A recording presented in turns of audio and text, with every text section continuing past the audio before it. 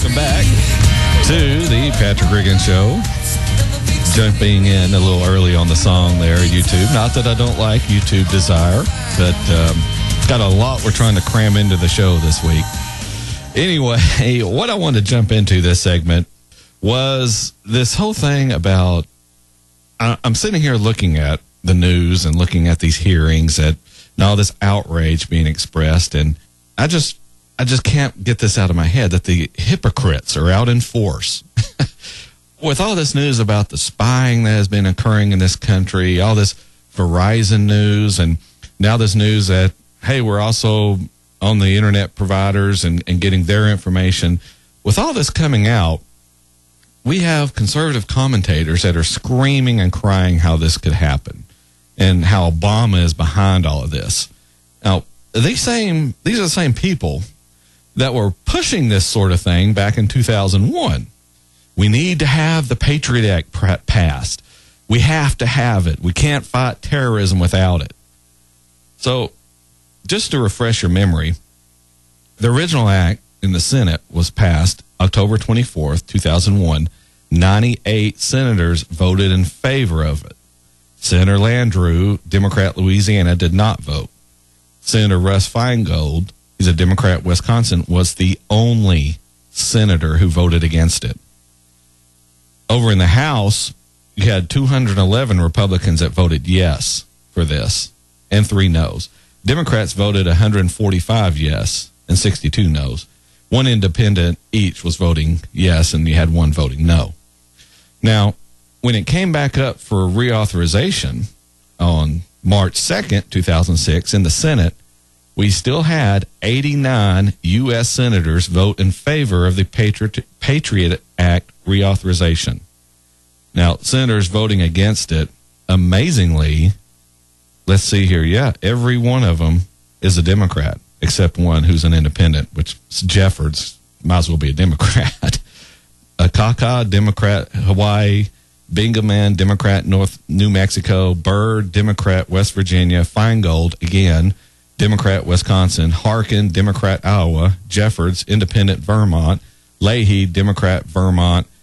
Uh, Levin, Democrat, Michigan. Murray, Democrat, Washington. And Wyden, which isn't surprising, Democrat, Oregon. It's not surprising he would vote against it. And uh, Senator Inouye, a Democrat, Hawaii, he didn't vote. But the next day, the House of Re- Representatives voted, and they had 214 yeses and 14 noes. Well, it was the Republicans, 214 yeses, 14 noes. Democrats voted 66 yes, 124 noes, and one independent voted no. So all these people are now screaming about how they can't believe this legislation was misused this way. How can the government be getting away with all of this? And you guys were the exact people pushing for this when Bush was in office. And anyone who spoke against it, you called crazy. They were sympathetic towards terrorism. Dr. Ron Paul stood there in Congress and gave speech after speech about how this was bad legislation, how the government could not be trusted with this power. And all these conservative commentators made fun of him, made fun of the libertarians for opposing these types of overreaching and intrusive, and more importantly, blatantly unconstitutional pieces of legis- legislation. Now, these conservatives are now bemoaning the fact that government agencies have been caught targeting conservative groups the IRS, the EPA, and now the NSA. And even more that I'm sure are yet to be brought out. And, and I'll go just go ahead and name Rush, Hannity, Levin, all these conservative hypocrites who preach from a limited government Bible, yet hypocritically advocate for the trampling of the rights of people when it serves their party when their guy is in office.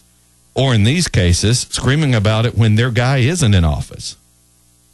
I know they have shows on this radio station, but I'm, I'm not going to excuse their behavior just because we share station call letters. That would make me a hypocrite. Someone who's who is excusing behavior that goes against my principles. And I refuse to be that way.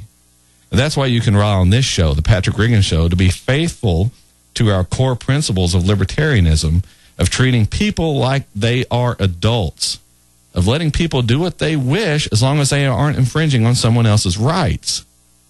Now, these conservatives are trying to paint these scandals as this is how liberal government works. No, this is how all government works, period. If given enough time, all government will try to eventually enslave their populations. Look at history. Our founders did and realized they needed to set some boundaries, otherwise, we'd have problems. Now, yes, I'm riding the conservatives a little bit hard, but I expect more out of them. The liberals want total control, they want a police state. The conservatives preach this limited government sermon until they're in office. When they win elections, all that talk goes straight out the window. The liberals don't mind having the government rifling through your trash or looking at your emails or listening in on your phone, as long as it's getting done towards conservatives, although some of them are starting to come around. Look, I'll listen to the other talk shows during the week and a lot of times just laugh at how two faced these show hosts can be. You know, I'll, I'll go ahead and, and I give Rush a hard time because he's the leader of the conservative movement. And this week he was having an absolute fit about all this domestic spying. And it wouldn't be, it'd be funny if it wasn't so sad. He was one of the cheerleaders to pass this Patriot Act, the very law under which most of all of this outrageous behavior has been occurring.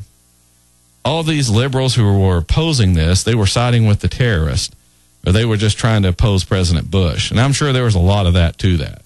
Now that the situation is reversed, the conservatives are screaming about it, and the liberals are saying it isn't a big deal everything being done is allowed by the law. Heck, they even say it's because George Bush signed the original law. That's why Obama is just doing what his predecessor did. I guess Obama didn't have parents that told him two wrongs didn't make a right, or that if George Bush jumped off a bridge, would Obama do it too? Apparently, he will. And if he does, it isn't his fault. He's only following what Bush did, so it's really Bush's fault if all this doesn't make you seriously question your political affiliations, question who it is you vote for. All you conservatives, if you are concerned about where this country is heading, then more than likely you're really a libertarian. But for some reason, you fear having that label. Either you don't want people to think you're some dope smoking hippie or some pacifist war protester or what just man up, stand up, and be counted. Start supporting libertarian candidates because they're the only ones left who believe in the true original American ideals of freedom and liberty. For those of you who are conservatives and you say, but you also believe in big government, and that would mean you don't see anything wrong with having government in citizens' lives on a daily basis. You think the size of government for the better part of a half century or more has been just fine that only lately has government gotten out of control, then you, my friend, are a liberal. You aren't a conservative. You're a government knows best liberal.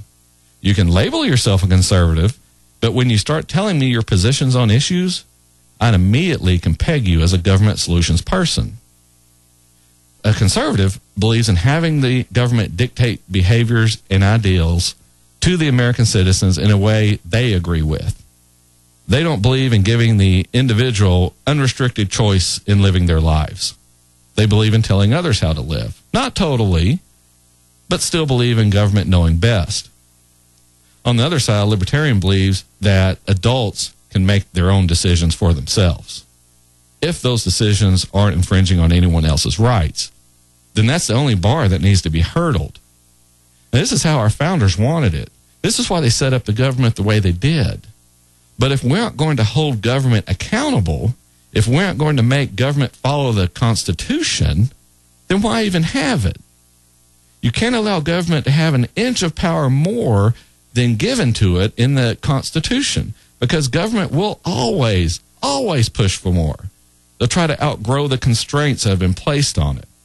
Now, our founders were smart enough to know human nature, to know how humans would act when given power over others. Now, combat this, they limited government and how much it could do.